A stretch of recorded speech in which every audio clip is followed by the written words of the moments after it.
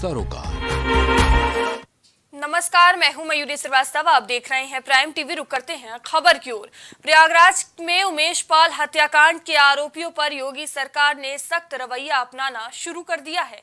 हत्याकांड के मुख्य आरोपी और पूर्व सांसद अतीक अहमद के करीबियों पर बुलडोजर चलाने की तैयारी की है। प्रयागराज विकास प्राधिकरण की टीम आज बुलडोजर लेकर मौके पर पहुँच गई और उमेश हत्याकांड के आरोपियों के घर बुलडोजर एक्शन हो रहा है। ज़फ़र अहमद की प्रॉपर्टी पर बुलडोजर चला है। बता दें कि जावेद अहमद के घर से दो राइफल और तलवार बरामद हुई है।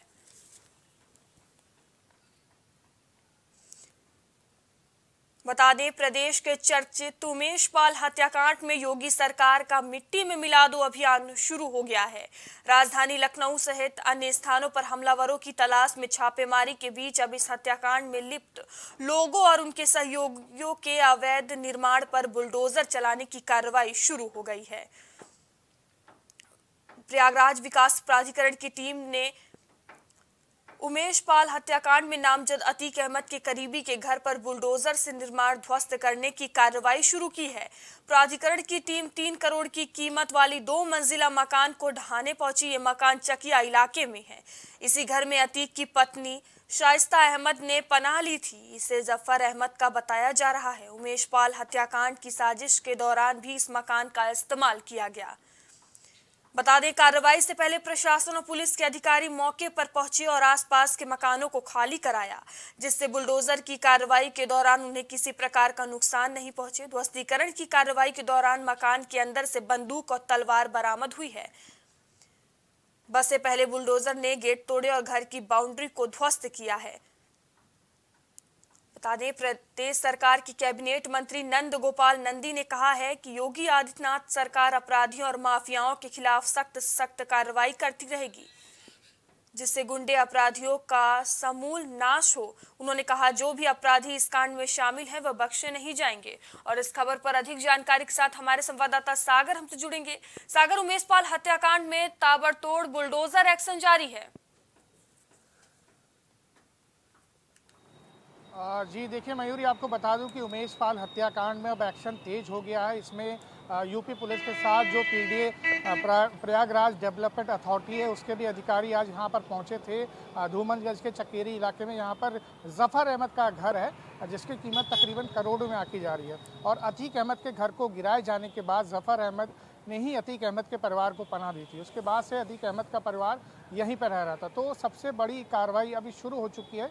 साथ साथ सीएम योगी ने कहा था कि मिट्टी में मिला देंगे। और एक तरफ़ तमाम जो राजनीतिक बड़े नेता हैं उनका भी बयान आया था जेपीएस राठौर ने भी कहा था कि ज़्यादा नोकझोंक ना करें गाड़ी भी पलट सकती है। तो कुल मिला के एक सुबह एक सं, संकेत दिया गया था। और बात करूँ लखनऊ की तो यहाँ पर भी कल देर रात प्रयागराज और एसटीएफ ने छापेमारी कर अतीक के अहमद जो तीसरा बेटा है असद उसकी तलाश में छापेमारी की थी लेकिन वो तो नहीं मिला। लेकिन उसके साथ उसके पास जो लग्जरी दो कारें थी उनको बरामद कर एस ने महानगर थाने में दाखिल कर दिया। अब बात करूँगा प्रयागराज की, जहाँ पर धूमनगंज इलाके में चकेरी इलाके, धूमनगंज थाना क्षेत्र के चकेरी इलाके में जो जफ़र अहमद है, उसका घर है, उसको सुबह से ही गिराने की प्रक्रिया शुरू हो चुकी है। आसपास के जो इलाके हैं, आसपास के इलाकों में जो बने घर हैं, उनको खाली कराया गया था। उसके बाद जो जफ़र अहमद है, उसके घर पर लगातार बुलडोज़र चल रहा है और सबसे बड़ा सवाल ये भी है कि बुलडोज़र की शुरुआत अब हो चुकी है। अब देखना ये है कि किन किन अपराधियों का नंबर कब कब आता है और सीएम योगी की कार्रवाई कब तक और कहाँ कहाँ तक होती है? जी। सागर, जहाँ ये बुलडोजर की कार्रवाई हो रही है, वहाँ आसपास के मकान को खाली करवाया गया है। कितनी संख्या में मकान खाली करवाए गए हैं? कैसा माहौल देखने को मिल रहा है? जी देखिए भाई मयूरी आपको बता दूँ कि सुरक्षा की दृष्टि से मकान जो आसपास के जो लोग हैं वहाँ पर उन्हें वहाँ से हटा दिया गया था ताकि कोई भी ऐसी अप्रिय घटना ना हो सके जिसमें प्रशासन जिम्मेदार हो क्योंकि ये प्रशासन की ही बड़ी कार्रवाई है और इसमें प्रशासन ने ये कार्रवाई की है बिना कुछ नोटिस जारी किए। हालाँकि इस, इस पूरी कार्रवाई पर नोटिस जारी नहीं हुआ था लेकिन हाँ ताबड़तोड़ कार्रवाई हुई है इसलिए क्योंकि इसमें उमेश पाल हत्याकांड से जुड़े तथ्य थे और उमेश पाल हत्याकांड से जुड़े लोग थे। इस वजह से वहाँ के जो सर्किल के जो आसपास के घर थे तकरीबन 10 से 20 घर मानूँगा वहाँ के परिवारों को हटा के अलग कर दिया गया सेफ़ स्थान पर रखा गया ताकि कोई अप्रिय ऐसी घटना ना हो बुलडोजर चलने के दौरान कोई ऐसी घटना ना हो जिससे कोई जनहानि को नुकसान पहुँच सके या फिर किसी के मकान को या फिर किसी के किसी या फिर किसी के मकान को कोई भी दिक्कत आ सके। जी। सागर, क्या ये बुलडोजर की कार्रवाई आगे भी जारी रहेगी? जी मयूरी, बिल्कुल, और ज़ाहिर सी बात है बुलडोज़र की कार्रवाई आगे भी जारी रहेगी, क्योंकि इससे पहले भी लखनऊ और तमाम जो आसपास के ज़िले हैं, जहाँ पर एक गुंडों, बदमाशों का बोलबाला ज़्यादा था, जो अपना ठिकाना बनाकर रहते थे जिन्होंने अवैध संपत्ति अर्जित की थी। अतीक अहमद और मुख्तार अंसारी की कई अवैध संपत्तियों पर लखनऊ और तमाम जो ज़िले हैं, आसपास के जो उनके ज़िले हैं वहाँ पर पूर्वांचल से लेकर मध्यांचल तक वहाँ पर बुलडोज़र चले और लगातार चल रहे हैं। इस पर अपराधियों में खौफ तो है, लेकिन कहीं ना कहीं सबसे बड़ी बात यह है कि अभी हाल ही में परसों की घटना अरबाज जो है, जो क्रेटा कार चला रहा था, जो क्रेटा कार इस्तेमाल हुई थी घटना में, जिसमें तमाम जो लोग हैं शूटर से वो बैठ के गए थे, वहाँ से उतरे थे, उन्होंने गोलीबाजी की थी, बमबाजी की थी। उसके बाद से अरबाज को पुलिस ने इनकाउंटर में मार गिराया। तो कहीं ना कहीं एक अपराधियों में ज़ाहिर सी बात है, सीएम योगी का, सरकार का एक प्रशासन का खौफ तो है। साथ साथ दूसरी बात बता दूँ कि एक बहुत बड़ी कार्रवाई ये होती है कि कोई भी प्रशासन किसी भी किसी भी के भी घर पे, किसी भी अपराधी के घर पे बुलडोज़र चला दे तो उसे बहुत बड़ा संदेश जाता है। तो कहीं ना कहीं ये संदेश आगे भी जारी रहेगा और अभी जो और भी लोग और भी परतें खुल के आएँगे क्योंकि जो। अतीक के बेटे हैं उन्होंने एक एक एप्लीकेशन दायर की है न्यायाधीश के यहाँ। उन्होंने साफ़ साफ़ ये लिखा है कि पुलिस उन्हें रिमांड पे ना ले अतीक और अतीक और अजहर को रिमांड पे ना ले जो कि अतीक जो है साबरमती जेल में बंद है। उनसे साफ़ साफ़ ये बोला गया है एक अर्जी दाखिल की गई है कि उनकी अगर पेशी होती है तो वीडियो कॉन्फ्रेंसिंग के ज़रिए हो ना कि पुलिस के पुलिस उन्हें वहाँ पर ले जाए घटनास्थल पर ले जाए फिर या फिर न्यायिक हिरासत में ले जाकर क्योंकि उन्हें कहीं ना कहीं ये खौफ लग रहा है कि गाड़ी शायद इनकी भी पलट सकती है। तो मुझे लगता है कि मयूरी, ये कार्रवाई आगे भी जारी रहेगी और बुलडोज़र की कार्रवाई बहुत ही जल्द आगे भी होने वाली है। जी। जी, धन्यवाद सागर, तमाम जानकारियों के लिए।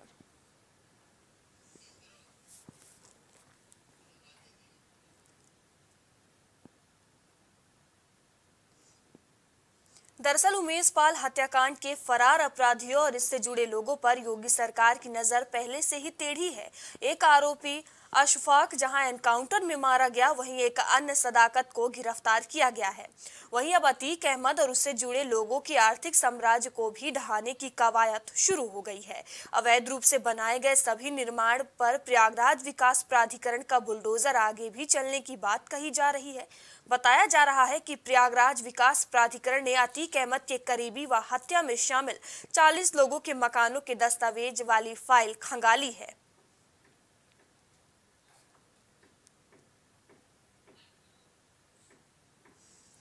और इस खबर पर हमारे संवाददाता विवांशु हमसे जुड़ेंगे। विवांशु उमेश पाल हत्याकांड में लगातार बुलडोजर एक्शन जारी है। जी, मयूरी आपको बता दें कि उत्तर प्रदेश के मुख्यमंत्री योगी आदित्यनाथ का जो कथन था कि माफियाओं को उसकी शुरुआत अब हो चुकी है। बात की जाए तो प्रयागराज के अंदर में कहीं ना कहीं उमेश पाल हत्याकांड के बाद प्रदेश के अंदर में सियासी मुद्दा बन चुका था। प्रदेश का सदन चल रहा था। सदन में विपक्ष लगातार कार्रवाइयों की मांग को लेकर सरकार को घेर रहा था, उसी क्रम में आपको बताएँ कि पुलिस तंत्र जो है वो अपने एक्टिव मोड में आते हुए जहाँ एक तरफ़ एक अपराधी को एनकाउंटर करता है, ठीक दूसरी बात जहाँ घटना रखी जाती है, मुस्लिम हॉस्टल का कमरा नंबर पैंतीस, उसमें तमाम जो लोग बैठे थे, उनके बारे में तहकीकात में पता लगाती है, बात की जाए तो अब उमेश पाल हत्याकांड में आरोपी बनाए गए। मुख्तार अंसारी माफ़ करिएगा अतीक अहमद के करीबी माने जाने वाले ज़फ़र अहमद के घर बुलडोजर से ढहा जा रहा है। आपको बताएँ कि इसमें बात की जाए तो ज़फ़र अहमद के घर पर कहीं ना कहीं इस पूरे मामले को लेकर जब तहकीकात में ज़फ़र अहमद का जो योगदान था जो किरदार था वो साफ़ हुआ। उसके बाद ये प्रशासन की तरफ़ से कार्रवाई की जा रही है। आपको बताएँ कि दो मंजिला इमारत जमींदोज की तरफ़ अग्रसर है। और प्रयागराज विकास प्राधिकरण के तमाम जो अधिकारी हैं, वो मौके पे है। साथ ही अगर बात की जाए तो प्रयागराज कमिश्नरेट के कई डीसीपी और साथ ही साथ पूरे सुरक्षा के इंतज़ाम के साथ ज़फ़र अहमद के घर को गिराया जा रहा है।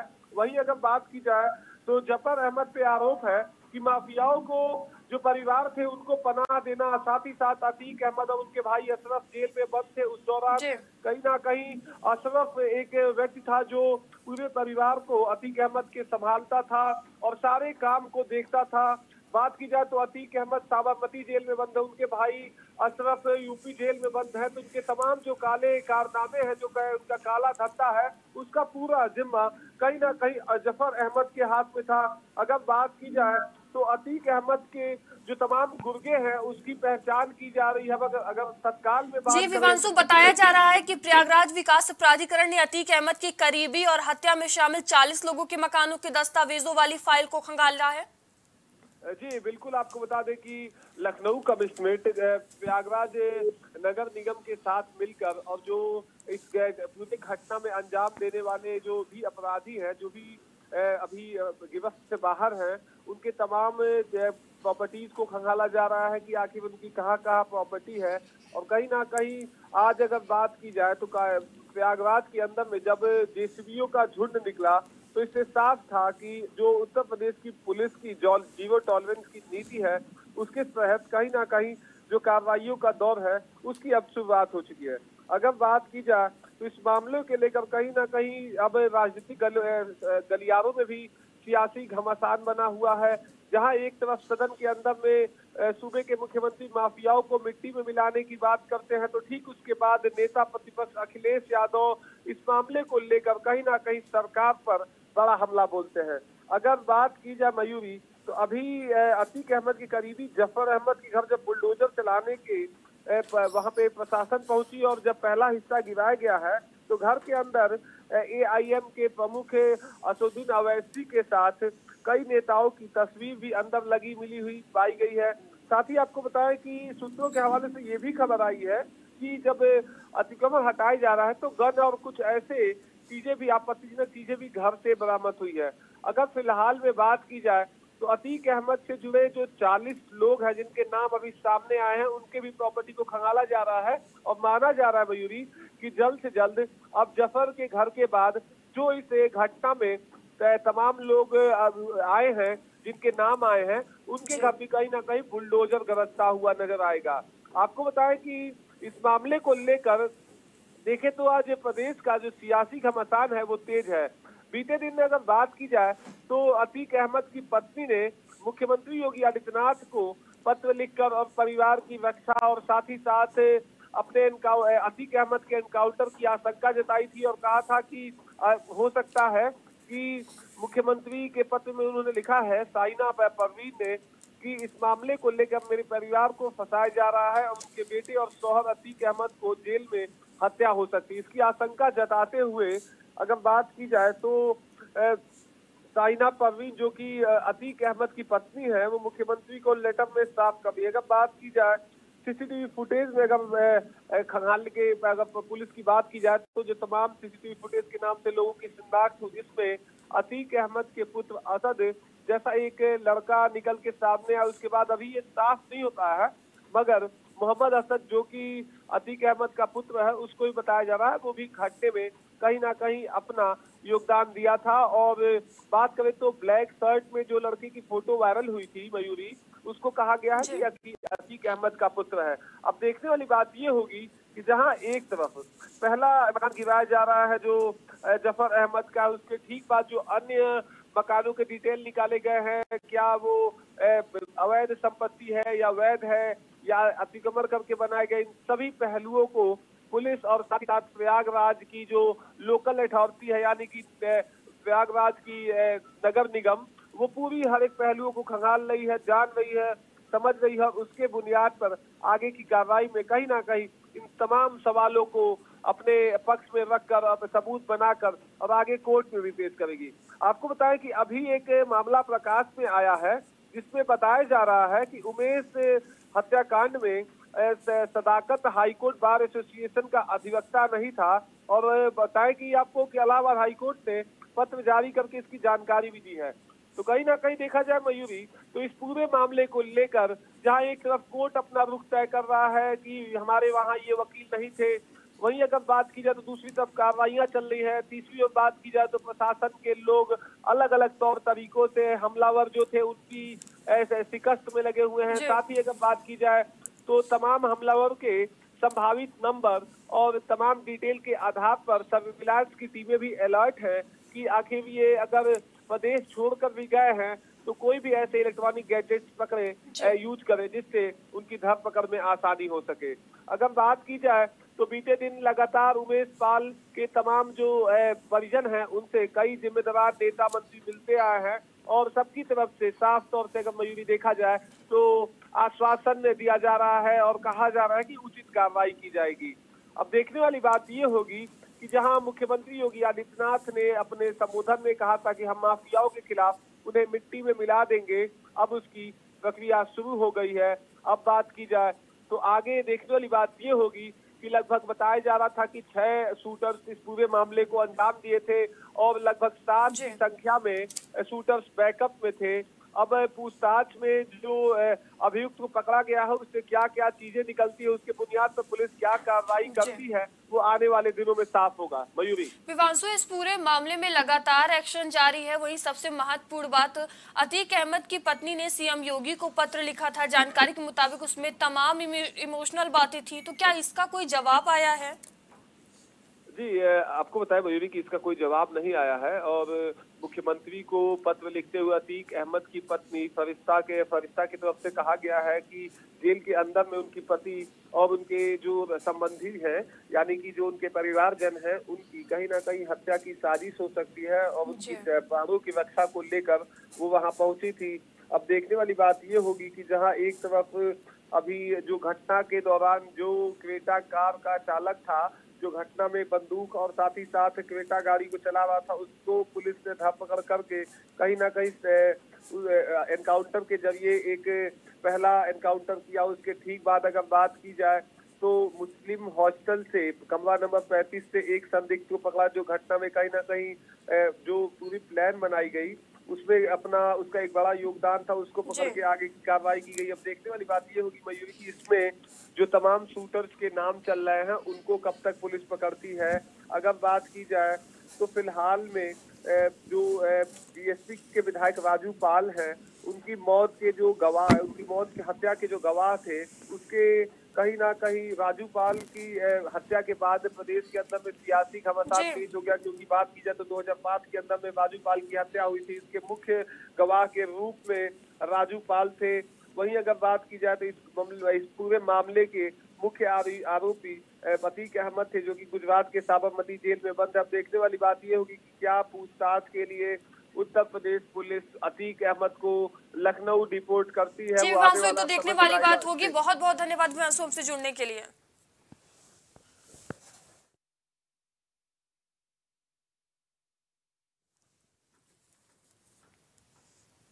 बता दें जावेद अहमद के घर से दो राइफल और तलवार बरामद की गई है। उमेश पाल हत्याकांड में प्रयागराज विकास प्राधिकरण की टीम ने उमेश पाल हत्याकांड में नामजद अतीक अहमद की करीबी के घर पर बुलडोजर से निर्माण ध्वस्त करने की कार्रवाई शुरू की है।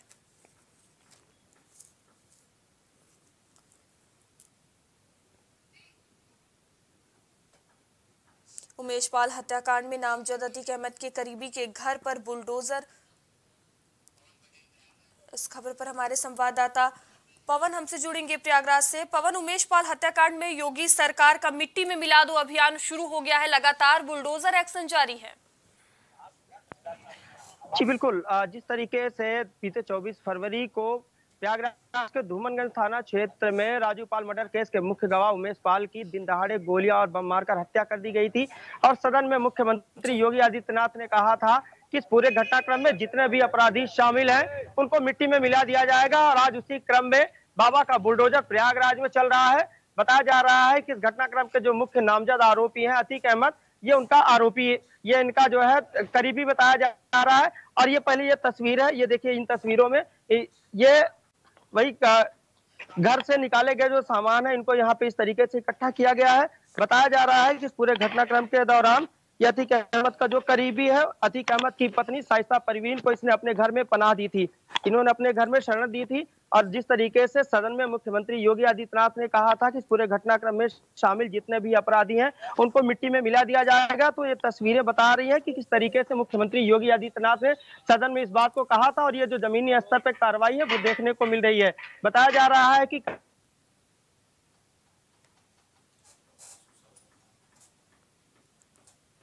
आधिकारिक पुष्टि नहीं हो पाई है। वहाँ पे तलवार भी मिली है। किस तरीके से और भी क्या चीज़ें मिली है इसके लिए पुलिस पुलिस लगातार छानबीन कर रही है। जैसे ये चीज़ें स्पष्ट होंगी वो भी सामने आएँगी कि किस तरह की चीज़ें या किस तरह के हथियार घर के अंदर से बरामद हुए हैं। जी। पवन बुलडोजर की कार्रवाई के लिए आसपास के मकानों को खाली कराया गया है। कितने मकान खाली कराए गए हैं? कैसा माहौल देखने को मिल रहा है आसपास का? अभी जो पहली कार्रवाई है ये अतीक अहमद का सबसे करीबी बताया जा रहा है। बताया जा रहा है कि घटना के बाद इस सहयोगी ने अतीक अहमद की पत्नी साइस्ता परवीन को अपने घर में पनाह दी थी अपने घर में शरण दी थी जिसकी वजह से अतिका सबसे करीबी माना जा रहा है। और उसी को लेकर आज प्रयागराज प्राधिकरण द्वारा यहाँ पे इस तरीके की कार्रवाई की जा रही है और जिस तरीके से लगातार कार्रवाई है कयास लगाया जा रहे हैं कि जल्द ही और भी बड़ी कार्रवाई देखने को मिलेगी। जी। पवन और कितनों पर बुलडोजर की गाज गिर, गिर सकती है? पीडीए की अधिकारियों की माने तो कई लोगों को चिन्हित किया गया है, जितने भी हतीक एंड कंपनी के करीबी है, जितने भी इस घटनाक्रम में शामिल है, उनके पूरे ब्यौरा जुटाया जा रहा है और जल्दी उन पर भी कार्रवाई की जाएगी। हालाँकि कितने लोग चिन्हित किए गए हैं, किस तरह की और भी कार्रवाई होगी, अभी इसके स्पष्ट रूप से बातें सामने नहीं आई हैं। लेकिन कयास लगाया जा रहा है कि जल्दी और भी बड़ी कार्रवाई देखने को मिलेगी। हालाँकि आज यहाँ पर जिस तरीके से पीडीए की टीम ने कार्रवाई की है भाली पुलिस फोर्स की यहाँ पे तैनाती की आरएएफ के जवान व पुलिस के जवान तथा पीएससी के जवान जवानों की भी तैनाती की गई और लगातार जो टीम है वो घर के अंदर सर्च ऑपरेशन कर रही है और भी किस तरह की चीज़ें घर के अंदर से निकलेंगी अभी इसकी आधिकारिक पुष्टि नहीं हो पाई है। जी। पवन आप मौके पर मौजूद हैं हम चाहेंगे आप दर्शकों को एक बार पूरी तस्वीर दिखाने की कोशिश करें। ये पहली तस्वीर है ये घर के अंदर से निकले हुए सामान है ये देखिए किस तरीके से यहाँ देखिए ये बीएसपी का यहाँ पे ये झंडा है तमाम यहाँ पे बैनर रखे हुए हैं पोस्टर रखे हुए हैं। और ये देखिए ये जो किस लिए ये बताया जा रहा है कि अतीक अहमद का करीबी है ये साइस्ता परवीन है जो अतीक अहमद की पत्नी है। ये घर के अंदर से निकले हुए और भी तमाम चीज़ें हैं और ये घर के अंदर के तमाम जो चीज़ें हैं वो भी यहाँ पे रखी हुई है। आगे एक और बैनर है वो भी आपको दिखाना चाहेंगे कि किस तरीके से ये देखिए यहाँ पे किस तरीके पीडीए की टीम ने कार्रवाई की है। ये ये तस्वीर है जिसमें अतीक अहमद दिख रहे हैं। और ये ओवैसी की तस्वीर है। हालाँकि घर के अंदर से और भी तमाम वो चीज़ें निकली हुई हैं, जिनको अभी अधिकारियों ने उसको सामने नहीं दिखाया है, लेकिन अभी बहुत सी ऐसी चीज़ें हैं जो संदेह के घेरे में है। जैसे कि कहा जा रहा है कि यहाँ पे दो रिवाल्वर भी मिले हैं।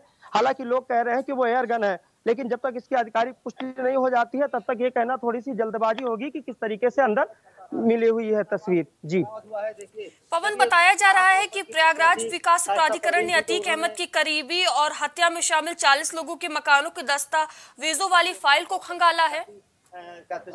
जी पीडीए के जो अधिकारी है वो लगातार इस पूरे घटनाक्रम को लेकर अपनी नज़रें बनाए हुए हैं और तमाम ऐसे लोगों को चिन्हीकरण किया गया तमाम ऐसे लोग हैं जो इस घटनाक्रम में शामिल हैं कहीं से भी इस कड़ी से जोड़ रहे हैं। पीड़ित द्वारा उनकी पूरी जो है इतिहास को खंगाला जा रहा है और उनके जितने भी मकान या जन जितने भी उनके अवैध निर्माण है उनको पीडीए की टीम जो है कार्रवाई करेगी। जी। जी धन्यवाद पवन तमाम जानकारियों के लिए।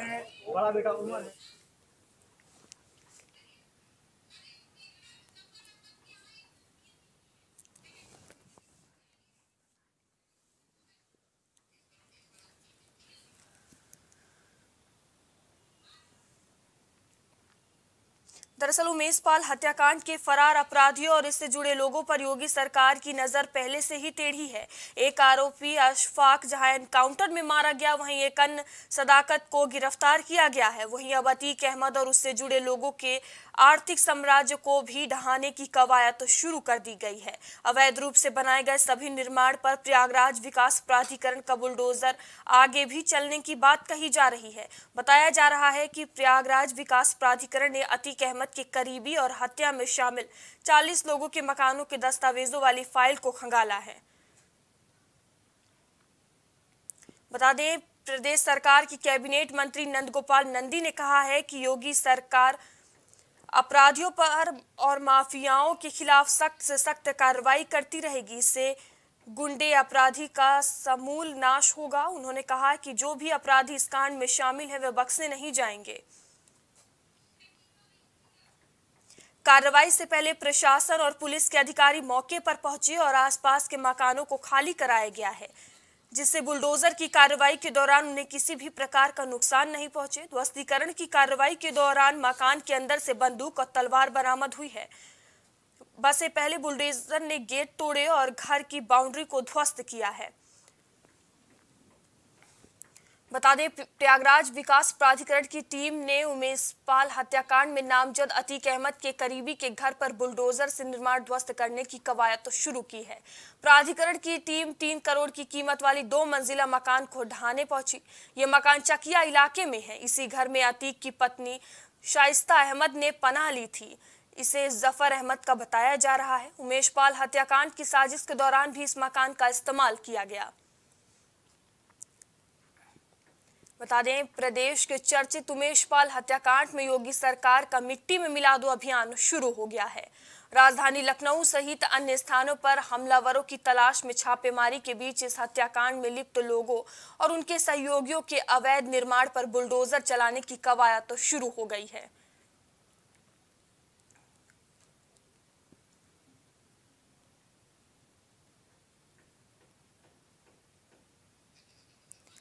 कार्रवाई से पहले प्रशासन और पुलिस के अधिकारी मौके पर पहुँचे और आसपास के मकानों को खाली कराया गया है, जिससे बुलडोजर की कार्रवाई के दौरान किसी भी प्रकार का नुकसान न हो। ध्वस्तीकरण की कार्रवाई के दौरान मकान के अंदर से बंदूक और तलवार बरामद हुई है।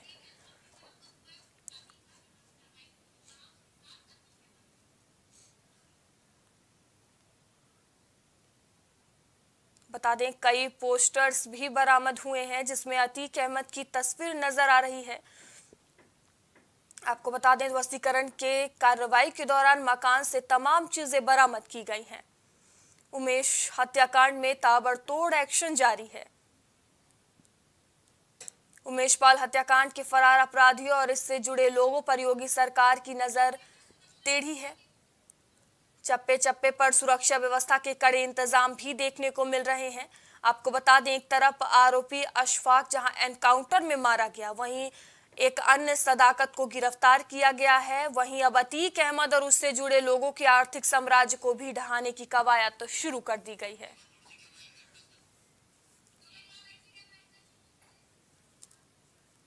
और एक बार फिर से घटनास्थल से हमारे संवाददाता पवन हमसे जुड़ चुके हैं।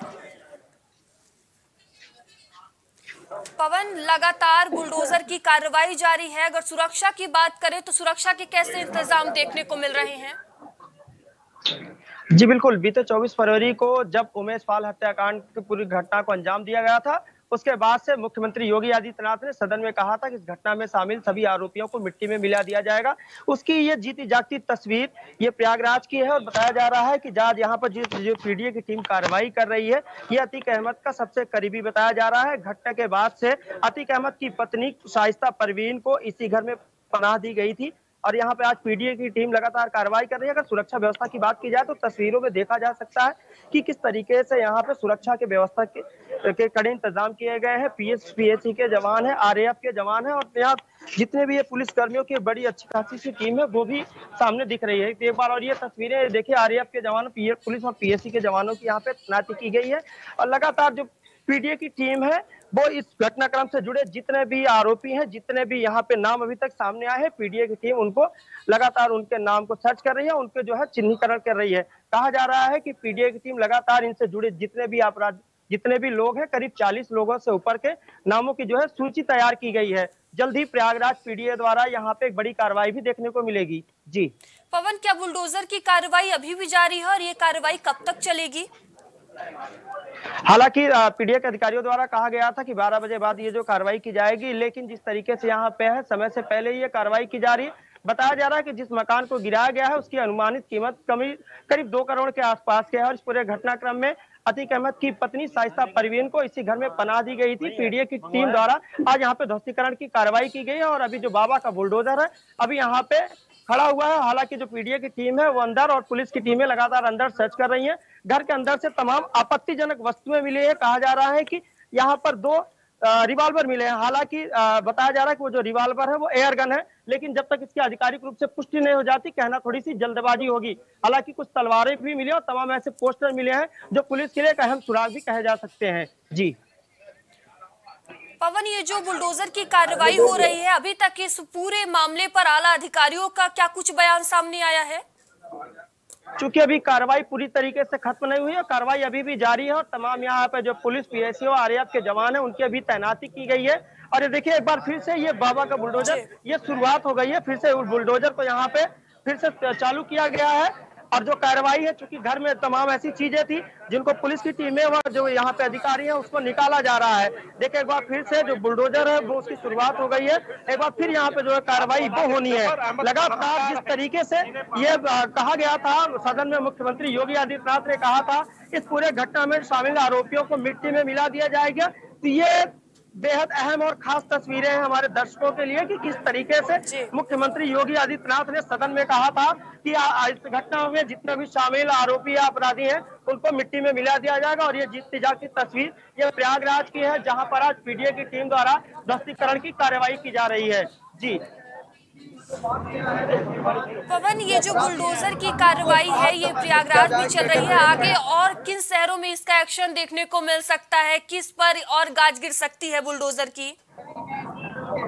चूँकि आप जिस तरीके से आज लखनऊ के एक अपार्टमेंट से अतीक अहमद की दो कारें बरामद की गई हैं और लगातार जो पुलिस की टीमें हैं, वो अतीक एंड कंपनी के आसपास सारी कड़ियों को जोड़ रही है।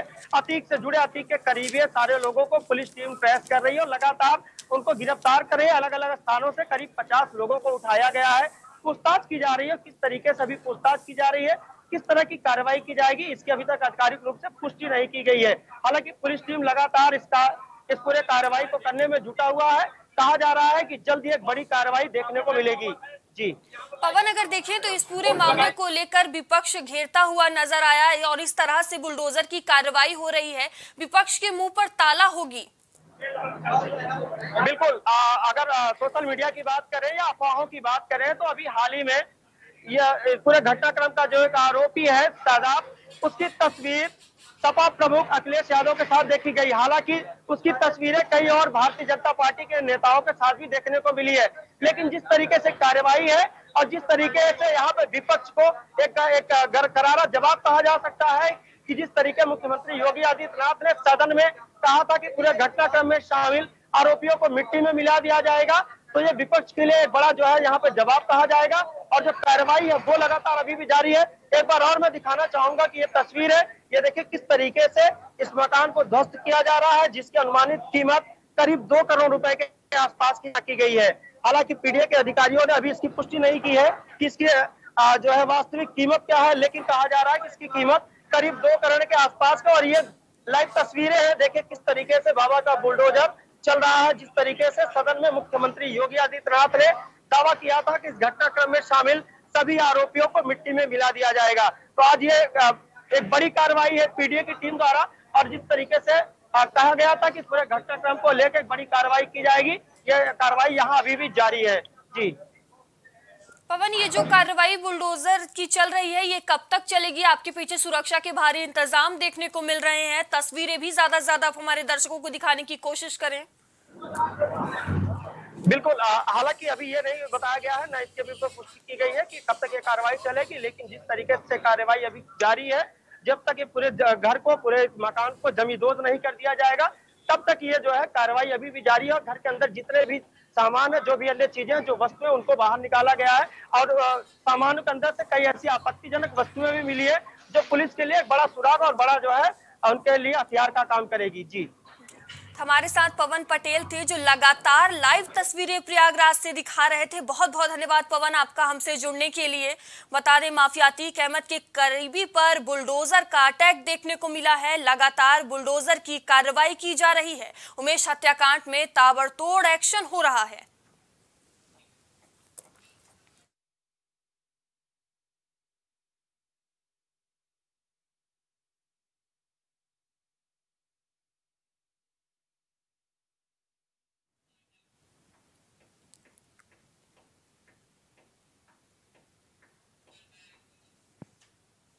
अभी के लिए इतना ही। आगे आपसे फिर होगी मुलाकात। तब तक लिए बने रहिए प्राइम टीवी के साथ। नमस्कार। कुछ भाव पुष्प। आप देख रहे हैं प्राइम टीवी। सच साहस सरोकार।